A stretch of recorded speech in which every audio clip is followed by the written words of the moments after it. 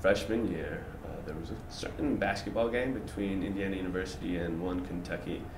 Uh, and right around the dying seconds of that game, I think a guy named Watford might have hit a three that kind of changed the student population for a few years and probably for years to come. But uh, I definitely think about you and definitely feel something weird right here when I remember that shot going in.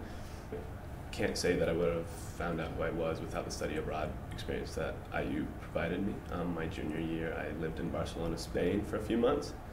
And I don't know if it's tangible or explainable. Um, it's cliche things like watching sunsets and sunrises in different countries. It's uh, meeting people who don't share a language and talking to them in a third language that neither of you really speak that well. And once again, from the people to the places that I saw, I can't imagine who I would have been if I hadn't had that experience. And I think it was pivotal in who I am today.